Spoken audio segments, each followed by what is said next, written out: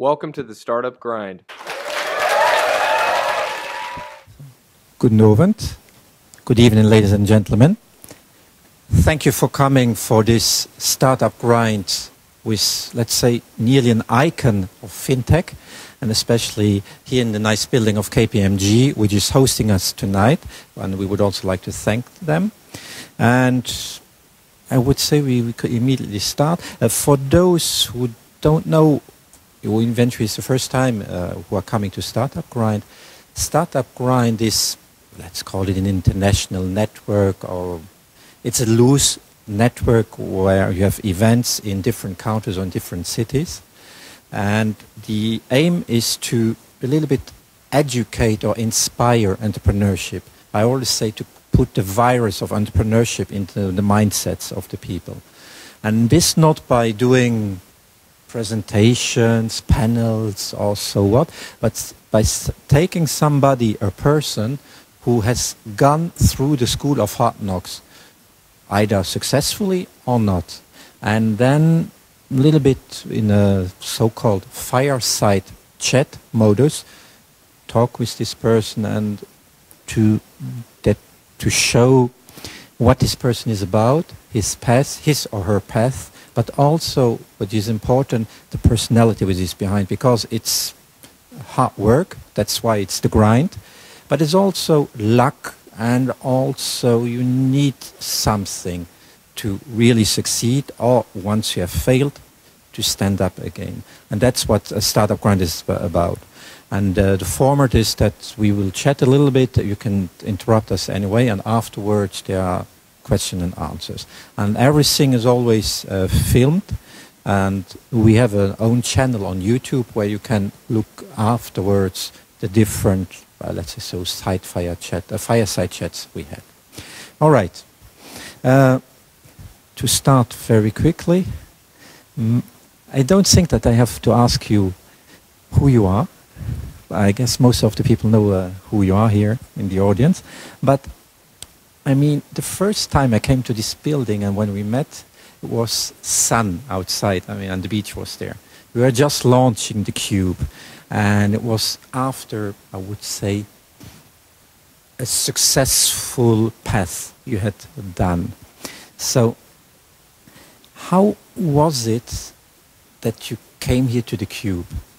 What made you come to the Khube, or what gave you the incentive for coming to the Khube, or setting up the Khube? Let's call it like that. Thank you. Um, well, first of all, I'd like to, to say um, that I'm very honored and very pleased to be there. Uh, uh, the one who know me know that I love to share my experience and I talk a lot, so I'll try to be careful this time. Uh, but feel free to ask questions. So, how did I came here? Um, after uh, leaving uh, leaving the company I founded, um, I really uh, well I took some holidays under the sun, not in Luxembourg, unfortunately. Um, and I, I, really needed to make a break to, to think, okay, what I wanted to do uh, afterwards. And I started to work with some entrepreneurs, uh, some startups as an advisor, and I, I really, um, I really loved it. Um, working with entrepreneurs is working with people who have a passion, and when they talk about their product, their solution, their life, they just love it.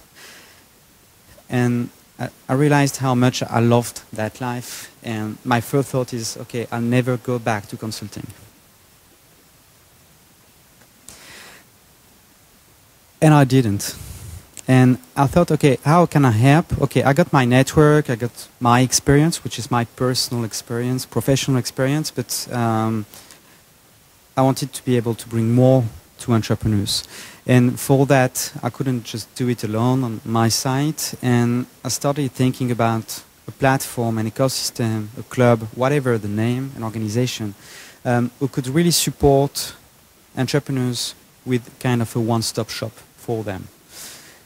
And this idea, uh, I got the chance to share it with some um, some diff different people, and uh, some of those people were uh, partners at KPMG, and they told me, "Oh, we have an initiative which is K-Start, um, which works pretty well, but which is limited to early stage companies. And once it was 100 uh, uh, hours of uh, consulting for free, so which was very good. But after those 100 hours, there was nothing left, and they wanted to go further uh, and to support um, technology, innovation, and especially fintech because we're in Luxembourg. And so they proposed me just okay, tell me okay, come you we like your idea, um, come to us. Here's your budget. Build your team. Do whatever you need to to make it happen.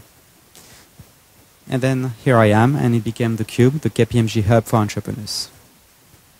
But uh, when you look at it, I mean, you have done something special that they accepted the challenge. And when you think back, I mean, uh, you had several uh, professional lives beforehand. Uh, if we take the most recent experience you had, if you look back, could can you still remember how and why you started uh, your experience beforehand? I mean, uh, yeah, it's FLASHiZ. Um, what was the incentive, the impetus to start after having uh, worked in consulting? You had a nice life. So i- i- indeed, I was working in consulting at Accenture, then PwC, uh, quite a lot in corporate finance, so very uh, corporate stuff. um, but I, I wanted, uh, I like to build stuff. I like to make things happen. Um, someone quite pragmatic, um, and I had pretty good knowledge of financial, the financial industry, and I just love gadgets, technology gadgets uh, especially the one that that are the less uh, useful. So this is um, mixing that type of technology, that type, uh, that knowledge in uh, in uh, in financial. Uh,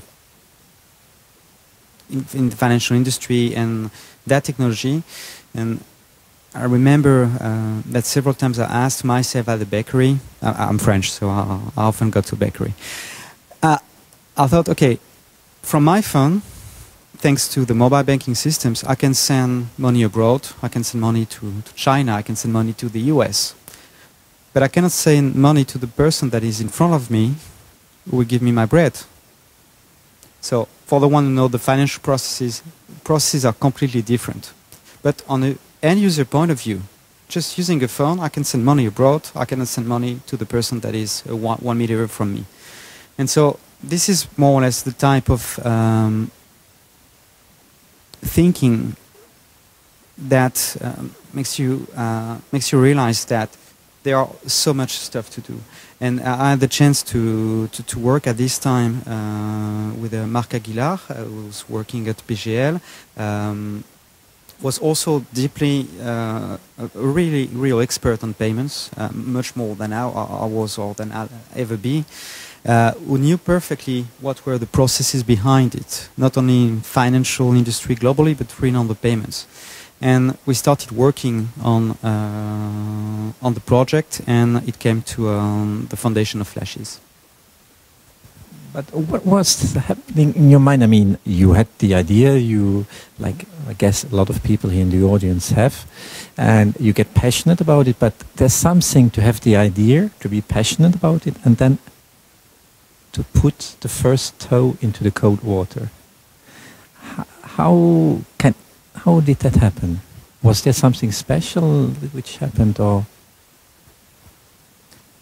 I think the first time uh, uh, I really thought, okay, I will quit my job was um, when we had the chance to, to meet uh, Paul Helminger, uh, was uh, um, uh, the mayor of, of Luxembourg City at this time, and we presented our idea, and we were the first. He was the first. We present first potential client. who presented um, the solution. And he just told us, "Oh, I love it. I love uh, my, my citizens to be able to use it for bus, for parking, for." And then when we came back after that meeting, we thought, "Oh, so we do believe that it's a great idea, but we also have big guys like him who want to use it. So re- real clients who want to use it." Um, I was in a large corporate. Um, quite a good job, um, good package. So I was happy with that. Uh, so it was a big jump uh, doing that and having that type of support of people saying, okay, we love your idea, and if you launch the if you launch the company, um, we'd be really happy to use it. Just the kind of incentive you, you get, and where you think, okay, it's not just a kind of crazy idea, even whatever you think is good or not, but you have some support from someone who's ready to pay for your product. And this is also what happens in crowdfunding systems. I mean, you, you, you think you have a great idea, and people buy it before it even exists. And so this is the kind of incentive, this is kind of stuff that push you to, to say, okay, I'll stop with my good salary, with my um, with my job, with my career, and uh, uh, let's go um, let's go alone with no salary. I think that you always need. But on the other hand, I, uh, I, I, guess you have the passion, the idea, you find a tangible market, even you get letter of intent and so on, even potential customers to say, yes, I'm going to take it once it's there how to bridge this uh, point where you say, okay, I go for it, until the product is more or less finished and then shipped. You have the first customers using it, I guess, and then it goes back and forth until the customer is more or less happy. I think we talk about the first one, and then the first invoice. How was this uh, path? I mean, from going and then up until the first customer is paying or using it? I think the first steps are pretty easy. You incorporate the company. Until then, it's okay. You raise uh, your first or friends and families, uh, and we had the chance to have some uh, clients who invested also in the company. Um, we then started, uh, then I would say the most difficult part uh, starts is um, getting people on board, building a team. I mean, the, the team is so important and uh, it's really uh, unfair in the entrepreneurship world because it's always uh, the CEO, the founder that is uh, put in front, but um, you just cannot do it if you don't have the, the good team. I mean, you have to bring people with um, the required skills, required experience, uh, um, and you can propose them no salary and no future. Uh, well, you can propose them equity, they are valued to zero. So at the moment, so it's very difficult to find them because you don't have ways really to pay them, to uh, not even to compete a bit with uh, with what what they get, but you have. Um, but it's also a good way um, to get people that are really passionate, that really do believe in your product. They don't come for the money. Uh, and I don't know much entrepreneurs who launch their company thinking, okay, I do it because I want to get rich. Um, it usually, usually doesn't work. Uh, you think, okay, if it works, maybe I'll be rich and I'll be very happy. But you don't do it for that. You do it because you're building something. And the, the first step is really building the team, uh, building also partnerships, and we, we, had a lot in our case uh, with companies such as Intech, and we, we paid the, most of the development of the platform, we paid it in equity. Uh, we didn't have cash.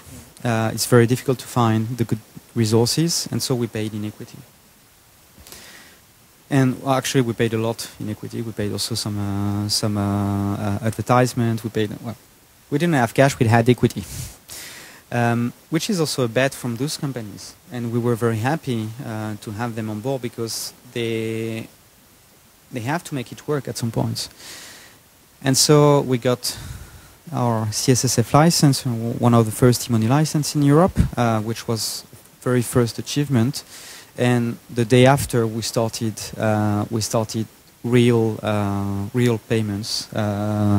Uh, first payment in bars, wine bars mainly, uh, just to make sure it worked, whatever the, the situation, uh, and, and then open, opening it to the public and trying to make it known, um, which was really the first challenge.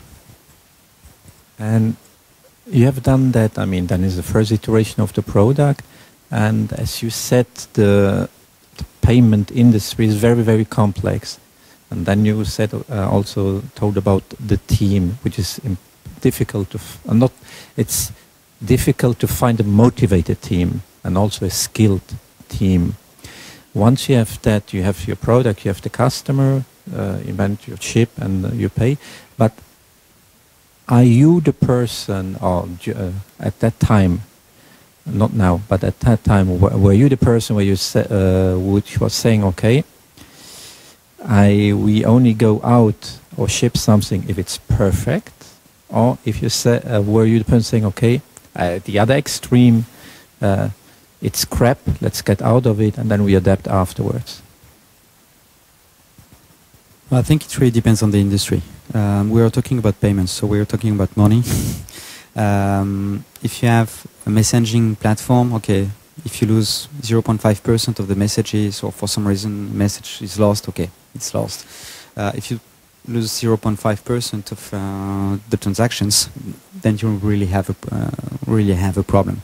So um, the product was far from being perfect, but it was uh, fully working all the features that were released were working um, very, very well.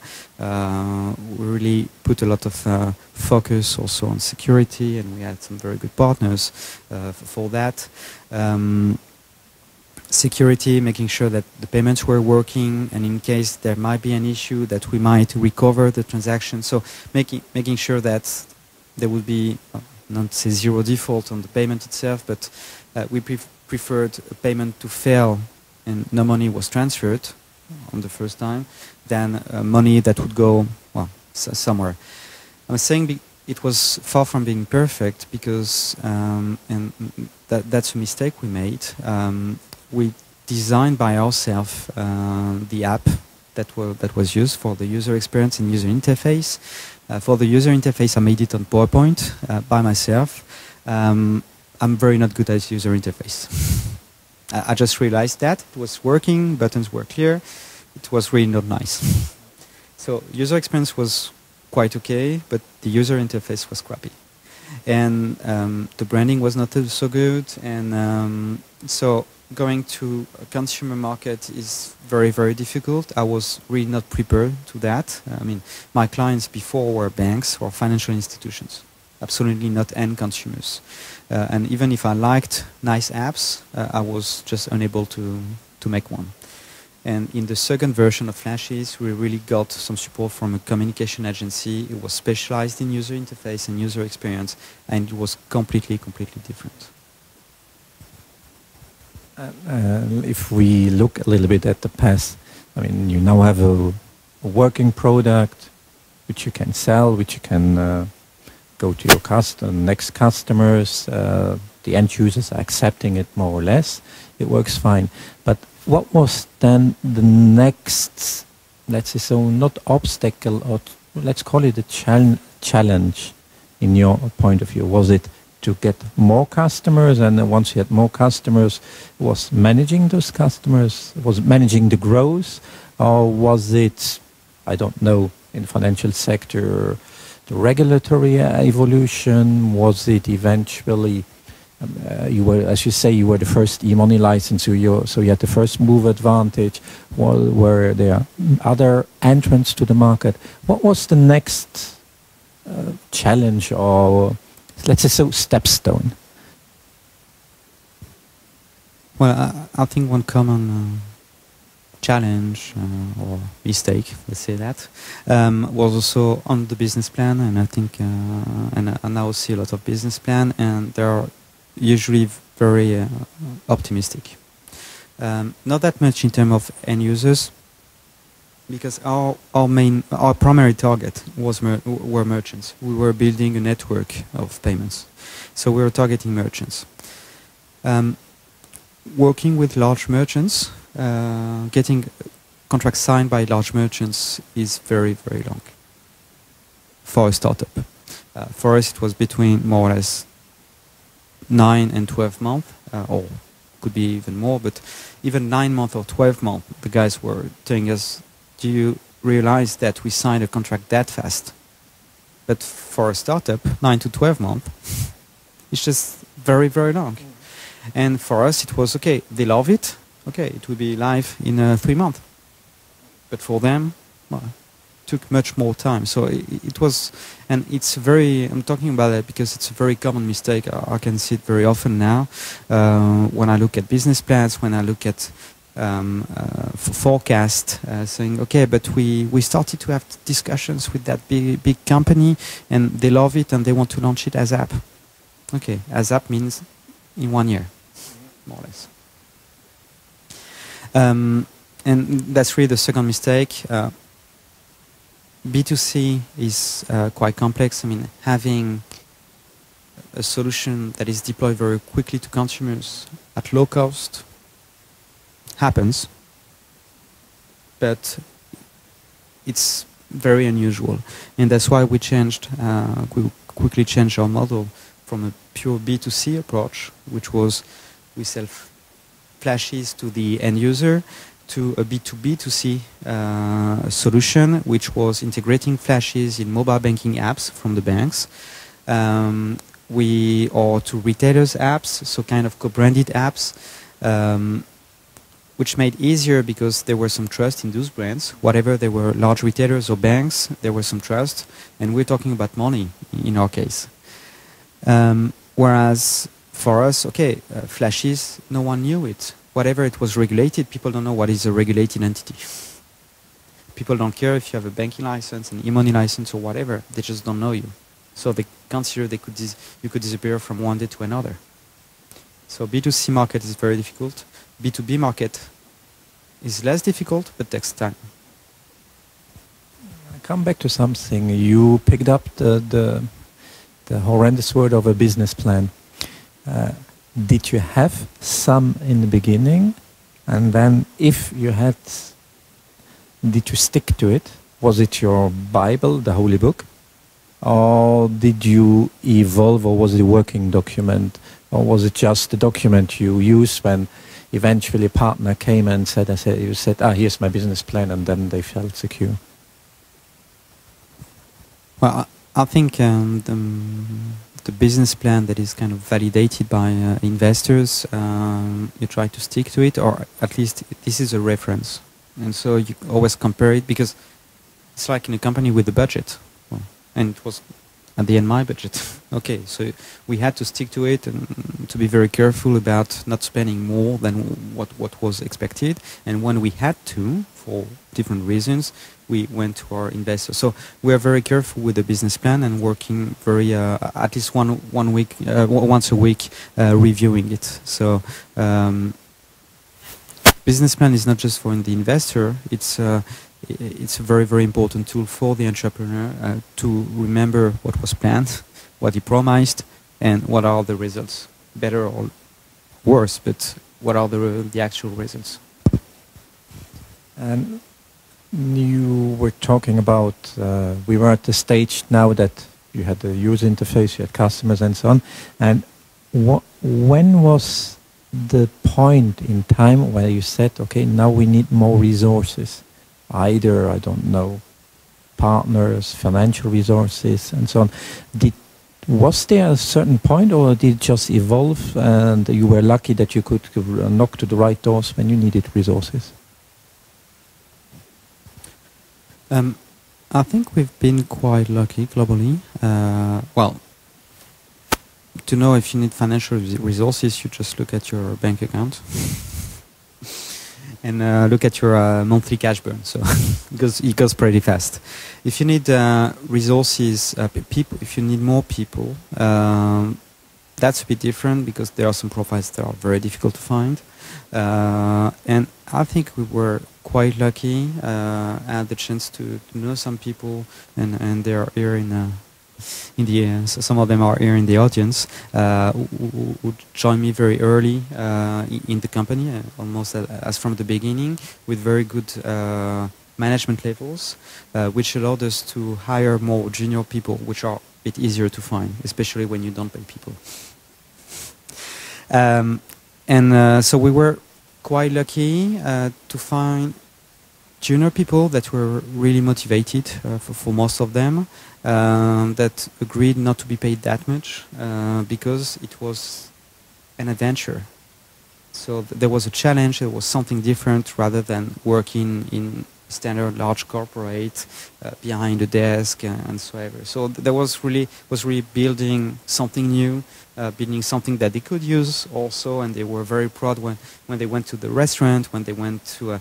Uh, Park, parking lots and so ever, when they were able to show their friends, their family, their girlfriend, oh look, this is what, what I have developed. And, uh, and you said, okay, you had some investors and so on. Did those investors follow you through the whole uh, experience, or did you uh, had also to look for other investors eventually with deeper pockets? And Well, I, I would say um, friends and family didn't follow.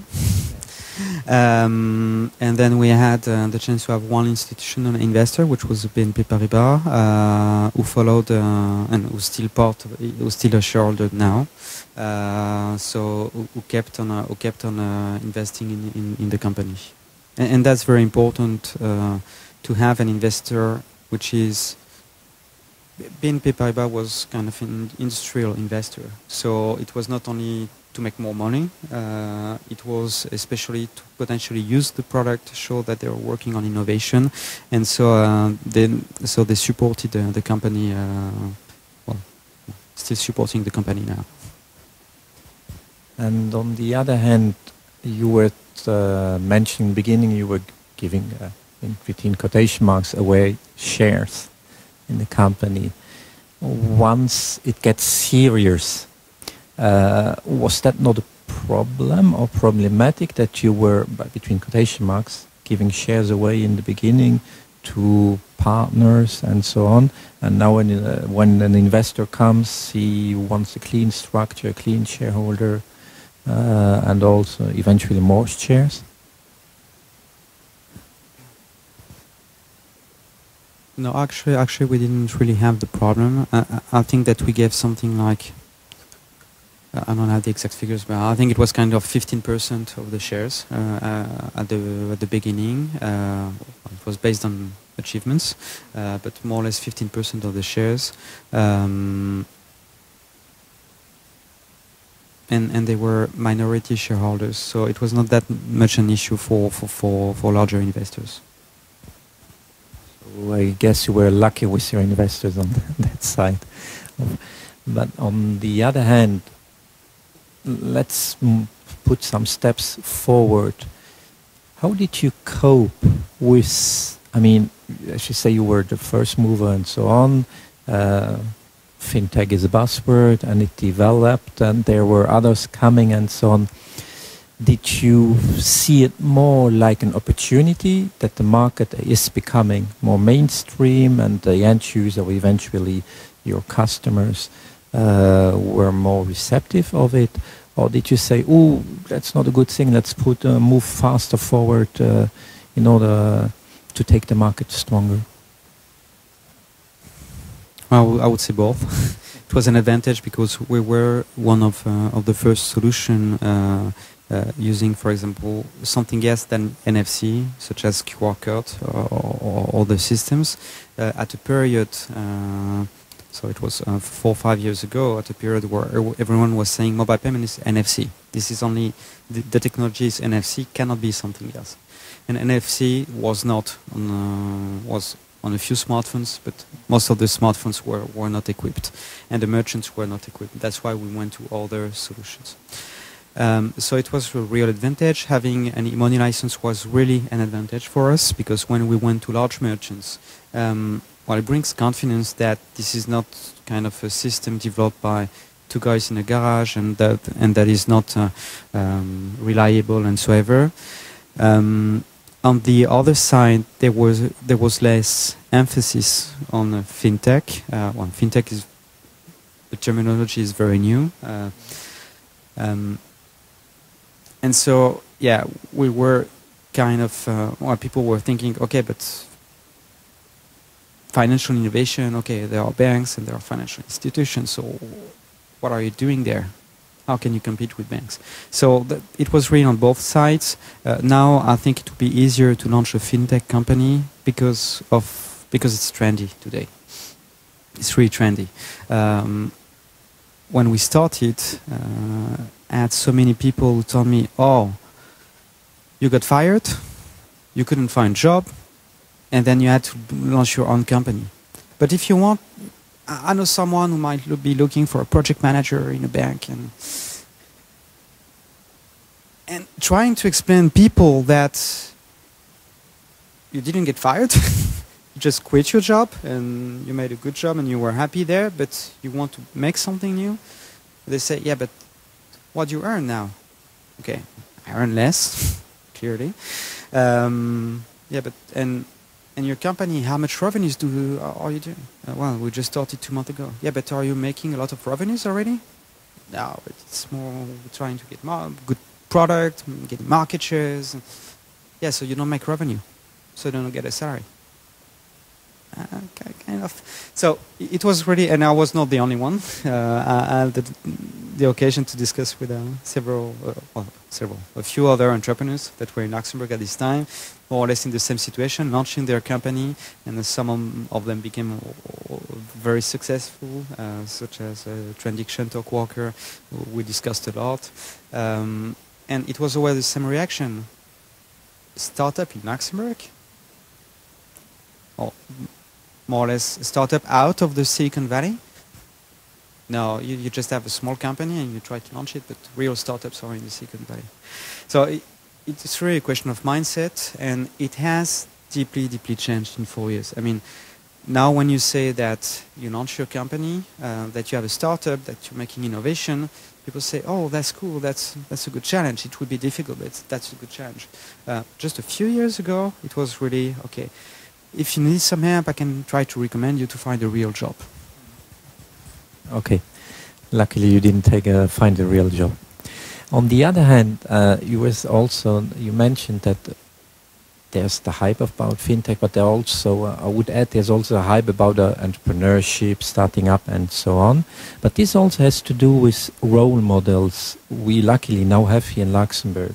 Several of them have been here, here on the startup grind. You are one of them also, and in order to get there, to become a role model, you needed uh, the so-called exit. I mean, to, to proof of concept. Zack, you have done it, and uh, now you go further. How did this exit come? Uh, was it something you say, okay, now it's right time, I will exit? Uh, there's somebody who's offering mon- me money, and then uh, all the others who say, okay, you don't get a salary, uh, you can tell them, okay, I have a house uh, somewhere else, and so on. Uh, how was it? Because it's something to start, to go through it, and then to let loose. To let, well, uh, it's always saying a baby loose, but it's to let loose. How did that happen to you? Um, well, I, I think it.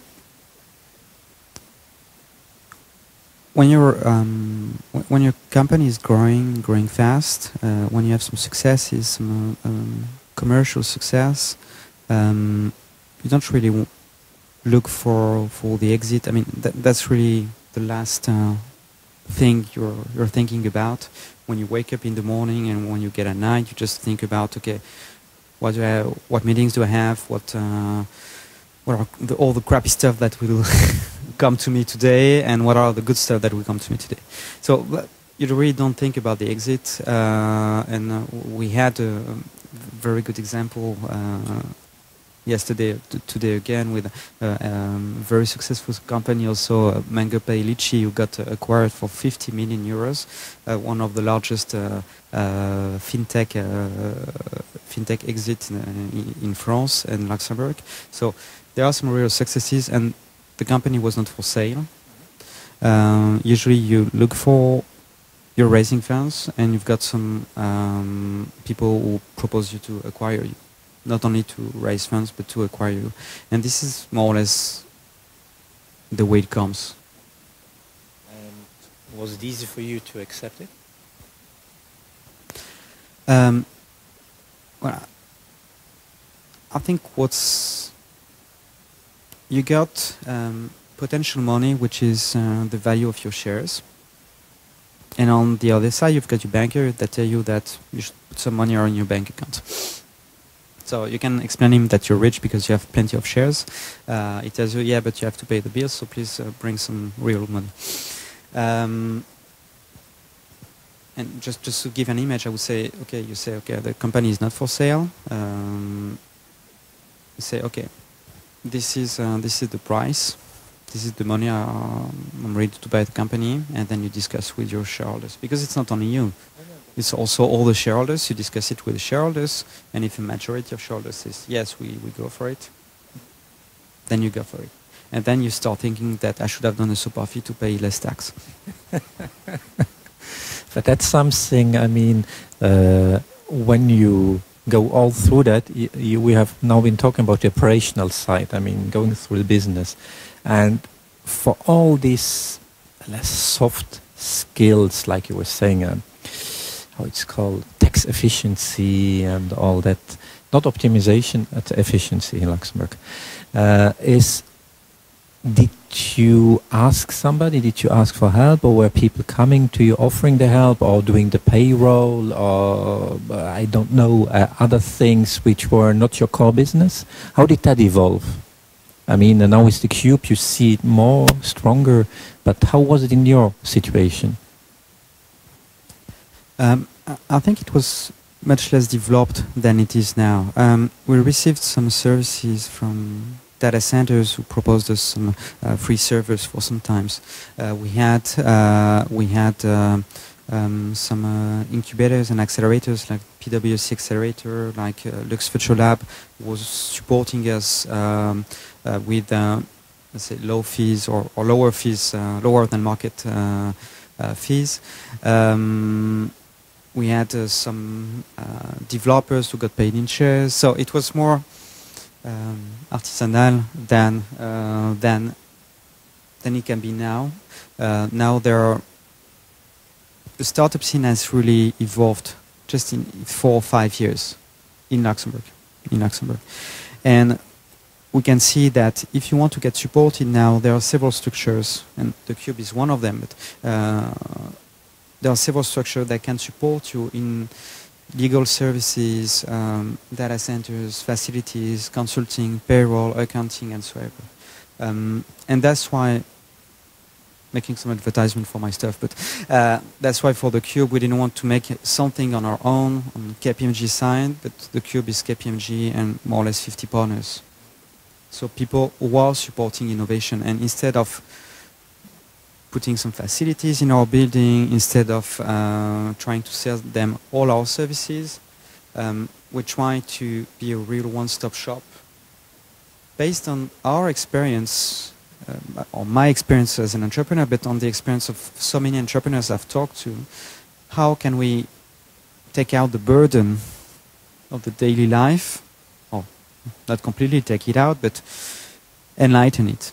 And it was uh, really okay, there are that many services, and that's why the way we built the Khube is okay. This is what I would have liked to to, to get as support, and then afterwards we looked at okay what KPMG is able to do and or is willing to do, and what KPMG doesn't want to do, what what already exists.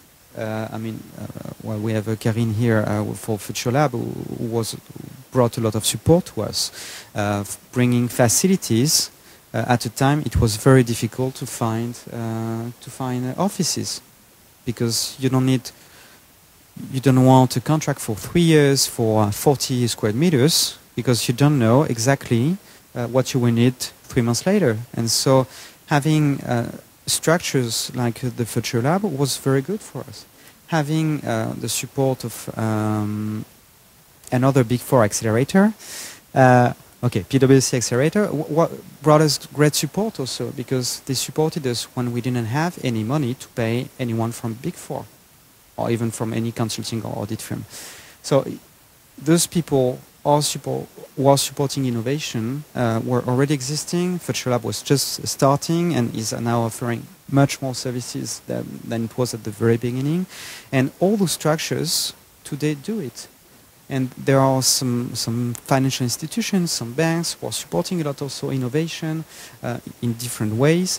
And it starts to enter the mindset. And as you said, one last point which is very important is also about the fact that there are some successful or less successful entrepreneurs. Uh, they were in the last few years, and it's very important to build that ecosystem. Whatever the exit, whatever the output, there were some companies who just closed down, uh, but those people have learned a lot. And uh, I, I, remember I, I, hired when I was at FLASHiZ someone, uh, the founder of a company uh, who got who got bankrupt. But I could take his experience and it brought us a lot. And having that experience and those entrepreneurs and, and the one who are successful are reinvesting or spending some time also, uh, and I, see some entrepreneurs here, uh, was spending some time with young entrep younger entrepreneurs, with uh, um, young startups. Um, this is really part of the ecosystem, and I've seen that in France uh, 15 years ago with the first, let's say, first wave of successful entrepreneurs, and we can see the results now because those guys are investing a lot in startups, in innovation, and in developing the, start, the startup scene in Paris and, and, and in other cities. This is very important also to have those I don't like the term role models, but uh, I mean that type of reference that okay, yeah, you can succeed in Luxembourg also, and we have seen uh, a lot of successful startups in the last few years. This is very important. You were saying, okay, Luxembourg, but you need also to go abroad. I mean, in order to be have to base in Luxembourg. But how was it for you to go abroad? I mean, the financial services is okay. It's international, but it's as you say, it's uh, again regulated and so on. What were the hurdles for you to go uh, international, and how far was international for you? Was it the surrounding markets, or was it more okay? We are talking uh, online, e, e paying, e banking, and so on, and also uh, an application which can work everywhere as long there's the data roaming and so on. How far was it, and when did you take that step? So actually, it, it, it, came pretty fast. Um, we opened our first subsidiary uh, in France um, just a couple of months uh, after uh, we launched the solution in Luxembourg. Uh, why France? Because well, I had a network there and I had some opportunities there. And if you look at the business plan, it was first Belgium and then France and then Germany and then the Netherlands. So I would say really surroundings. Um, the reality was completely different. It was based on opportunities. We had a very good opportunity in Spain. Right after France, we, we launched the solution in Spain. Uh, we, we opened an office in Spain and uh, well, it took a few months, as I said, uh, before, before the product can be launched. Um, and then we have some. We had some contacts in Belgium also. Uh, we had some good contacts. Uh, so we went to the US at some points, uh, not to open an office, not to launch the solution, just to grab ideas. And we met a lot of uh, incubators, accelerators, investors, uh, looking at the startups in mobile payments. And then actually, everyone told us, "Oh, we don't have such an advanced solution here." And so you go in the Silicon Valley, which is kind of crazy dream, um, and very honestly to grab ideas and to look what was going on. And the guys tell you, oh, we don't have such advanced solution here. We have very good technology solutions, but which are not working on the financial market. Um, and then, uh, then I came back, still thinking about it, discussing it with, uh, with the shareholders, with the board members, went back again, met some other investors, some other people, and same reaction. And then we decided we had the chance with Ministry of Economy uh, to go there for three months, and actually we stayed there. Um, this was for the US. For Indonesia, it was different. Uh, for Indonesia, uh, um, so we deployed the solution in Indonesia. Um, it was just an interview that was on Sky News and uh, that I made on Sky News. and uh, well, they were looking for a mobile payment solution, and um, just well, kind of a coincidence, they looked at uh, the interview and they thought, oh, might be interesting. So they came to Luxembourg. They looked and see and saw that in Luxembourg it was working. We went, brought them to the restaurant, we brought them to bars, we brought them to parking lots, uh, to to stores, and they saw that it was working. Re- really working, not on video whatever, really working in real life. And so they came back again, and so we went there, and uh, well, and we signed the deal. So it was more on an opportunity basis because I didn't even know where, where, where was Indonesia, well, more or less, but I didn't know anything about it. And so it was just an opportunity. And then we, we had some Japanese people who came also because they heard about us in Indonesia. And so you go to the market where, where, where you have an opportunity. So you have your business plan, where it's more or less the surroundings, uh, very um. And then uh, at the end, you've got okay, France, Spain, Belgium, the UK, Indonesia, the US, uh, Japan, and so you have different opportunities in different countries. And and we had also uh, Italy, Germany, and we investigated all those stuff. It didn't work as well um, for different reasons.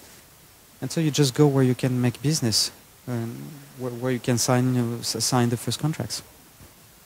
And was wasn't there a time during all this expansion and opportunity grabbing that you were eventually saying to yourself, uh, maybe we took shall take a more experienced, a more senior person on board who is overlooking that one?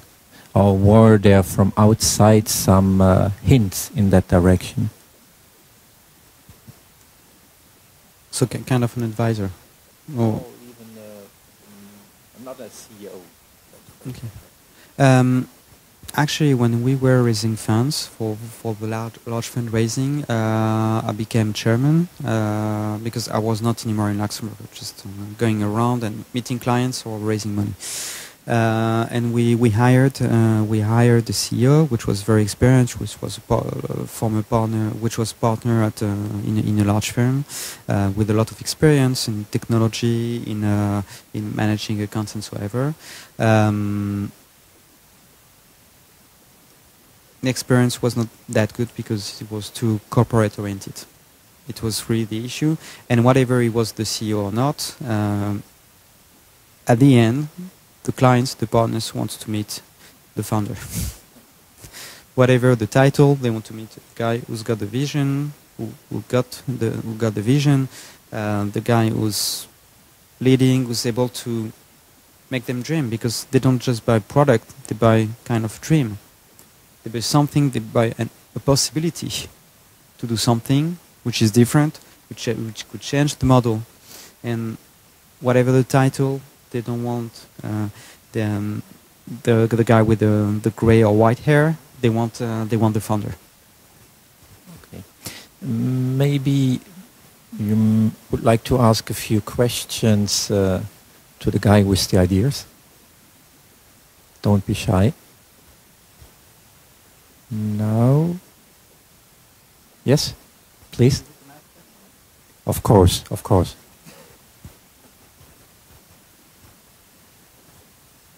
A startup, because do everything.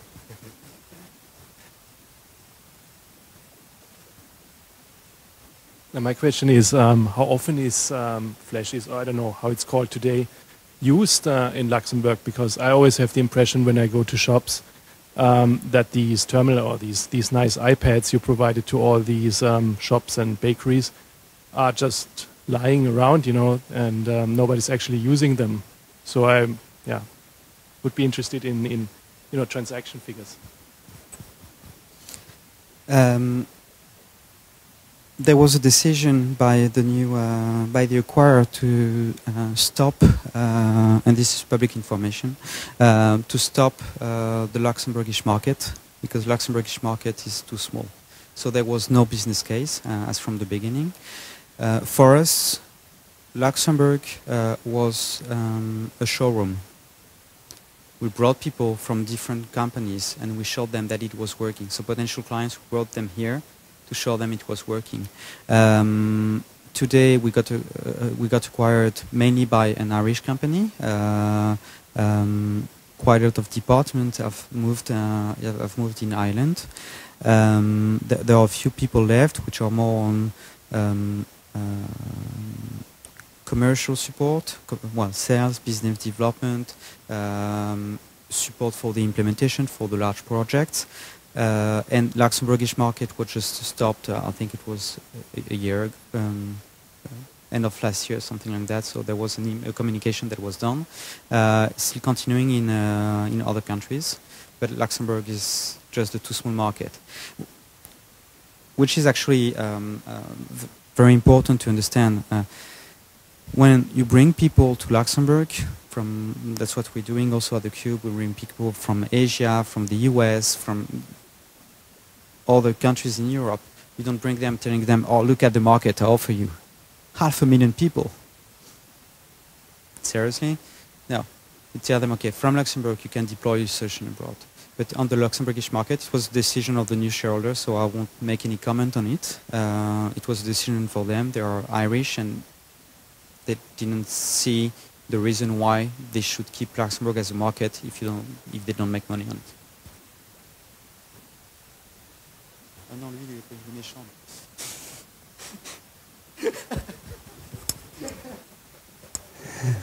Alexandre, uh, could you just tell us about uh, the incentive scheme for your employees and uh, co-founders? And I'm talking about the uh, stock options. Was it uh, a useful tool or uh, what happened after the sale of the company? with uh, did you accelerated the vesting of the options and was I still motivated to stay with the the new shareholders? Uh, that's a very good question. Uh, we have been very bad at that on stock options. Um, we have given shares um, to uh, to the management. So no stock option plan, just shares that were given. Um, for employees, there was uh, a stock option, a small stock option plan, uh, and the shares were bought at, at, at the price, uh, at the value on on, uh, on the valuation. Um, if I had to do it again, I would do it differently, uh, and I didn't get any support for that. also, uh, and making a stock option plan is not that easy. I mean, say okay can imagine it, but making it concrete is is very different. Uh, if I had to do it again, uh, I would not give shares to the management and promise shares to the employees. I would just make a normal stock option plan uh, with some incentives on uh, on longer terms. So we make sure that if the employee is good and stays, is committed, then he, then uh, then he can get them. All the way, because we had some people who left after they were given shares. So we were very, very bad at that, uh, and I would probably not do it, uh, well, absolutely not do it the same way. Um, regarding the incentives, um, I think that most of the people have left the company today um, because they were not looking, even if the salaries were, so one of the first stuff that was done after the acquisition that we aligned the salaries with market um, market standards. Um, but it's not necessarily what you're looking for when you work in a startup. So there were maybe not that type of incentives, and um, there were different reasons why people left the company, but uh, there are a few uh, that are still there. Uh, but I think that most of them uh, moved. Answers your question? Mm.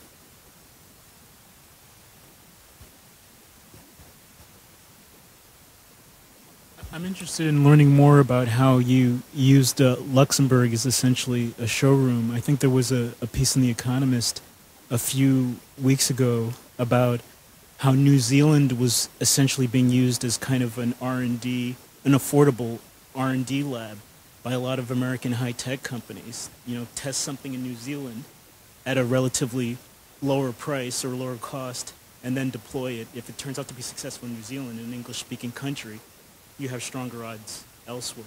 I mean, did you, do you see Luxembourg the same way, not just as a showroom, but as kind of a an effective early R&D lab for you know application elsewhere? Um, I won't make any comparison with New Zealand because I don't know uh, about it. Um, the way we used to it, uh, we, we, we used Luxembourg was first a showroom. So when we when we had potential clients, large merchants, uh, um, large companies discussing with us, we made the coming in Luxembourg to see that it was not just a great idea, it was something that was really working. And that worked very well because that's really the first time they made their payment, that they realized how easy it was. Every time the, the point was, uh, we, we gave them the phone, okay, just flash the code that is, uh, that is on the check, on the bill. Oh, um, okay. And so, and so now what? Oh, that's over. We can go. And the waiter was saying, okay, bye-bye. That's okay, bye-bye. It was that easy. Um, so it really works uh, um, to show that a solution can work in a real live environment. Um, Luxembourg was also uh, a way to deeply improve our solution. I was talking about the user interface, the user experience. Um, we had a crappy user interface. I'm responsible for it, so it's even easier to say it.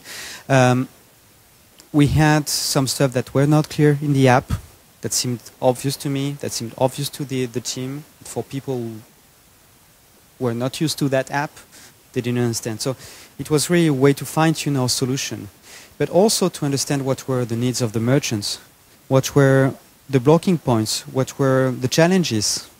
And so we were able to use Luxembourg discussing with the merchants, which, which are pretty close. I mean, um, we signed one of the largest retailer. It was one of our first clients, one of the largest retailer in Luxembourg. It was Fischer. It's a bakery. They have six, 65 stores. Good bread. and we were, we were just crazy when we signed them. We said, okay, we're the king of the world. We have one of the largest retailer in, in, in, in Luxembourg. So after, afterwards we signed much larger uh, global clients uh, or European clients, but at, at this time it was just crazy. And we were able to understand what were the challenges, and there were some, some stuff we didn't think about, but that were very important for them. And so they agreed to start with what we had, and what you need in, in a startup anyway is flexibility. I mean, you don't have uh, a full knowledge of what people need and so getting that feedback, making the improvements, corrections on the, the solution, and there were a lot, there are always improvements to be done, um, is easier, was easier for us doing it, it was easier for us doing it in Luxembourg because it's smaller. So you can have feedback very easily.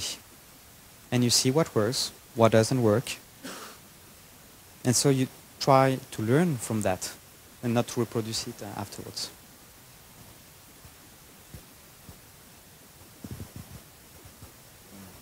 Could you tell us a bit more about the experience in France? Because um, uh, France is a country which uh, still has the checkbook um, compared to Luxembourg. Where are you from? Oh, sorry for you.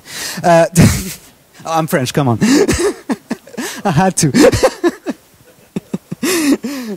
um,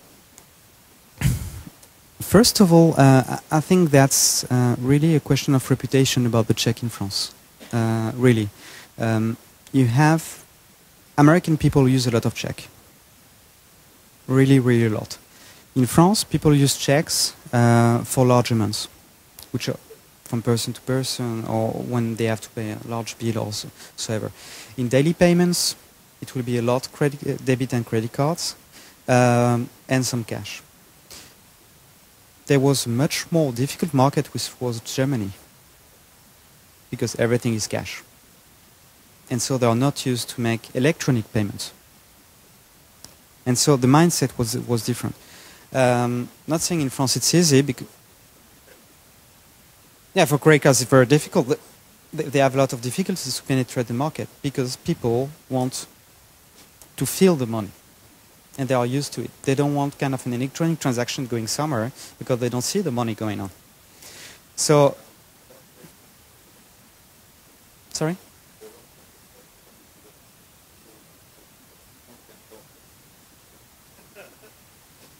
Wow, not that much. um,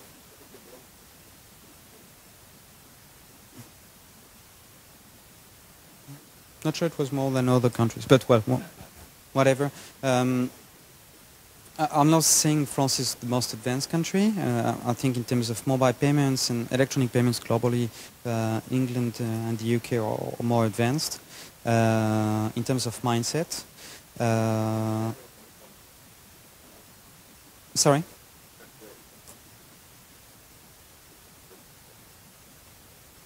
Well, the takeout came after I left, so must be a reason. Uh, well, actually, we, we got acquired after a bit more than two years. So we had deployed our network of merchants and didn't go that much uh, to the consumers. No.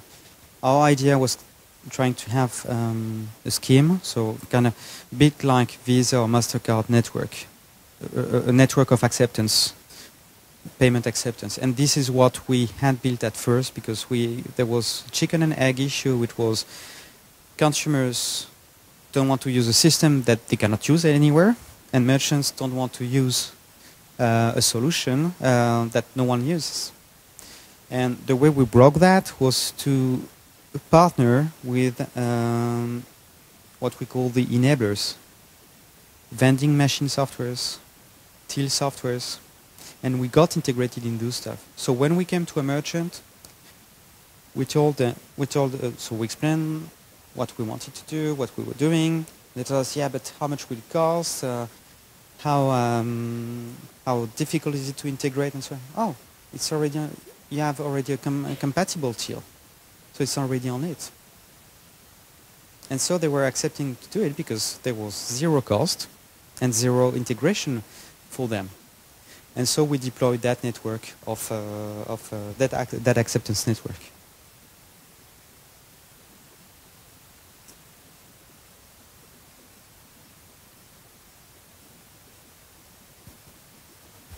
Zero cost. Then what was your business model? How did you earn money? Um, what's cool with payments is that it's pretty easy to find monetization at some points. um, it was quite simple. Uh, we got some fees on the transaction, and uh, we had FLASHiZ was not just a mobile payment solution; it was a mobile checkout solution. So we integrated also uh, the loyalty and the coupons in the checkout in the same process, so completely transparently. And so we made money on transaction fees, but margins are very low. Whatever the solution in the payment industry, margins are very low in in, uh, in Europe, continental Europe, real Europe. Um, we made money on loyalty programs that we were offering, proposing uh, to uh, to uh, small and medium merchants who didn't have uh, a fully automated solution for loyalty, and coupon, and we got money also on coupons. So those are two activities where you have more margins, much more than payments, which are very very limited and just cover your costs, more or less.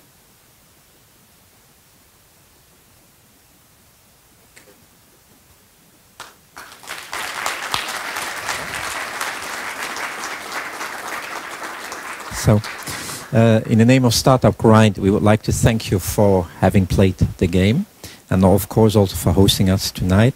And as you've seen on the program, it's Startup Grind is always the same. You have a little bit uh, chat around, and then afterwards there's some net- the networking part, which is taking outside uh, uh, on the Oktoberfest. Thank you for coming. Ah, yeah. There's food and wine, so go. Thank you very much.